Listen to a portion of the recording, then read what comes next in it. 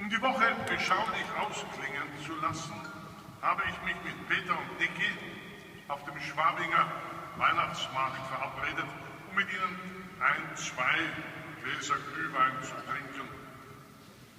Um 12.15 Uhr komme ich an der Münchner Freiheit an. Peter und Niki sind noch nicht da, also muss ich wohl oder übel den ersten Glühwein allein trinken. Als die beiden endlich eintreffen, habe ich bereits die zweite Tasse zur Hälfte geleert. Wir unterhalten uns über alte Zeiten und darüber, dass wir uns vor nunmehr vier Jahren auf dem Schwabinger Weihnachtsmarkt genau an diesem Stand beim Glühwein trinken kennengelernt haben. Wir kommen aufs Leben an sich und die Liebe im Besonderen zu sprechen. So kommt es sehr schnell zum dritten beziehungsweise kurz später zum vierten Glas Glühwein.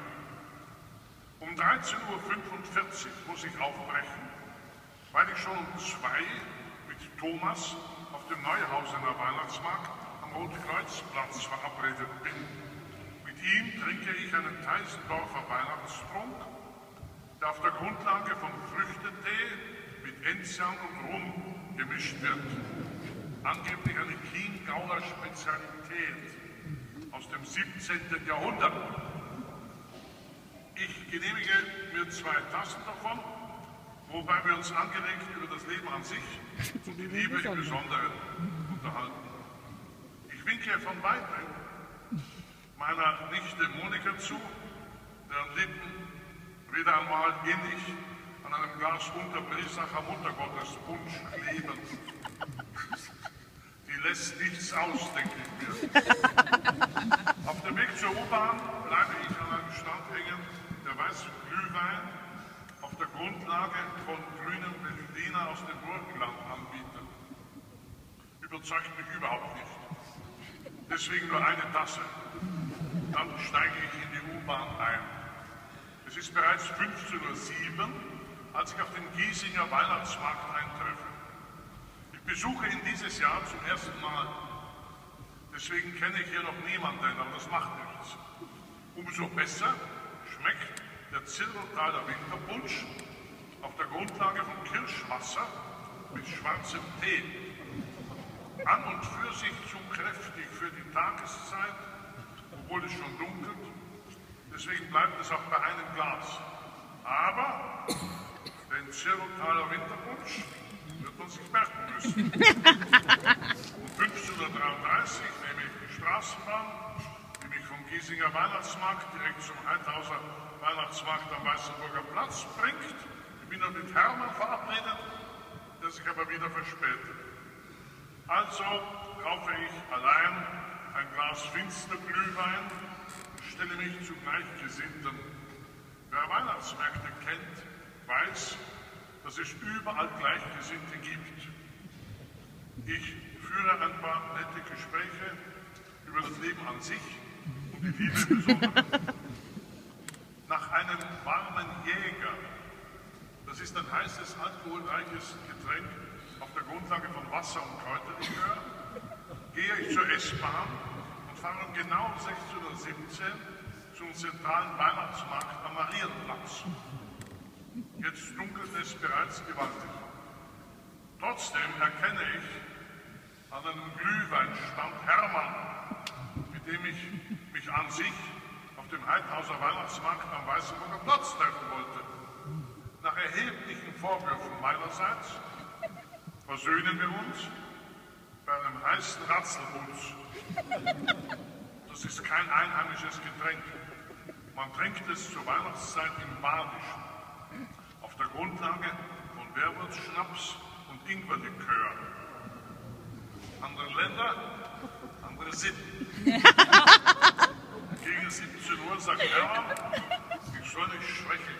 Ihn auf den Basinger Weihnachtsmarkt begleiten. Freilich, sage ich. Das ist der nächste Weg für einen, der noch einmal auf den Schwabinger Weihnachtsmarkt muss. Aber, sagt Hermann, da gibt es den Christfestschoppen zu reden. Wir fahren nach Passig. aber erwischen blöderweise die S7, die gar nicht nach Basel fährt, sondern nach Solden. Trotzdem ärgern wir uns nicht, weil wir auf diese Weise auch noch den Mittelsendlinger Christkindlmarkt mitnehmen können. Wir kommen mit einer jüngeren Frau bei heißem Tropensteiner Wurzhüttengeist aus dem bayerischen Oberland. Ins Gespräch und landen in Kürze beim Leben an sich und Liebe im Besonderen. Das schlägt Hermann aufs Gemüt. Wir brechen jäh zum Basinger Weihnachtsmarkt auf, den wir um 1755 erreichen. Aber von dem hochgelobten schlesischen Christ, Christfestschoppen bin ich eher enttäuscht. Gebe ihm aber noch eine zweite, dritte, eine vierte Chance. Aber es ist und bleibt ein süßes, klebriges Zeug. Trotz seiner 38 Prozent. Leicht verärgert setze ich mich deshalb um 1831 in die Westbahn. Da ich ein Mensch bin, der ungern im Leben etwas auslässt, mache ich noch einen Abstecker zum Stephansplatz, auf dem heuer das erste Mal ein Weihnachtsmarkt stattfindet, auf dem sich vor allem Männer einfinden. Warum auch nicht? Jeder hat das Recht auf einen Weihnachtsmarkt. Aber der Christbaum, der da zwischen diesen Männern steht, überrascht mich dann doch. Er ist sehr rosa, weil, sagt der schöne Hans, vom Crazy Pink unser Advent ist halt rosa. Wir wollen so feiern, wie wir leben, sagt er. Das ist kunterbunt. Kunterbunt sind auch die Getränke. Nepalesischen Hochland mit so viel Eierlikör drin, dass man vom Tee überhaupt nichts mehr schmeckt. Mir muss recht sein. Bis zum heißen Bischof, der zwar würzig, aber auch al alkoholmäßig eher schlaff ist. Da sollte die Kirche einmal ein Machtwort sprechen. Probiert habe ich alles auf diesem Rosenmarkt. Ein Mensch ohne Vorurteile bin. Übrigens habe ich gerade auch meinen Nachbarn Willi Stadler, Willi Stadler getroffen, dem das überhaupt nicht recht war. Mir eigentlich auch nicht. Trotzdem haben wir gemeinsam einen kohlraben, schwarzen Lumumba getrunken und uns über das Leben an sich und die Liebe im Besonderen unterhalten.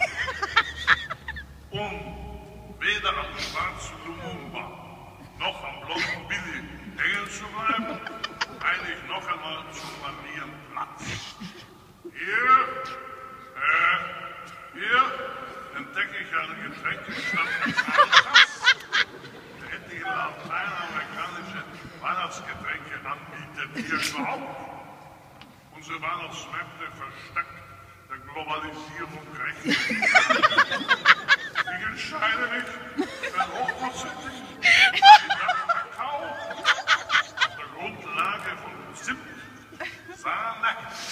Kubanischem Rum.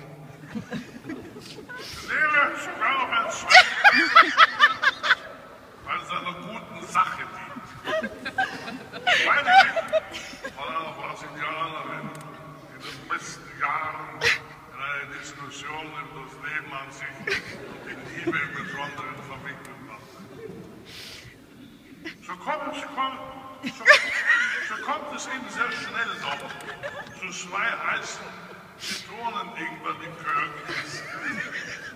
Einem heißen Christmas Caipirinha und es stand daneben so einem Fläschchen Kötzinger Nadel Eukalyptus Schauminspiration, die mir aber geschmacklich eher an flüssiges Bad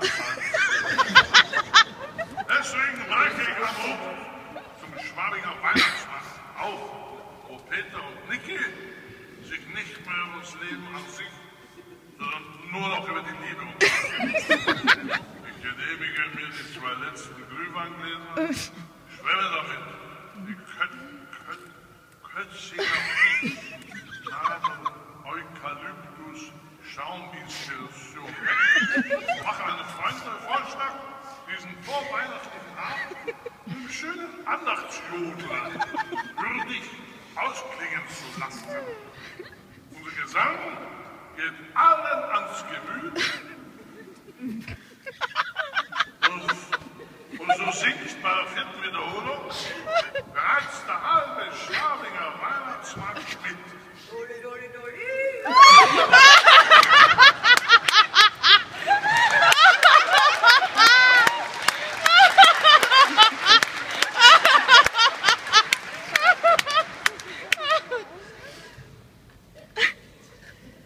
Sogar der Massimo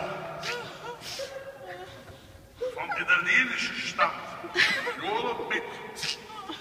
Guten Abend und erlebt mich zu einem sizilianischen Vornatale-Rundschlag.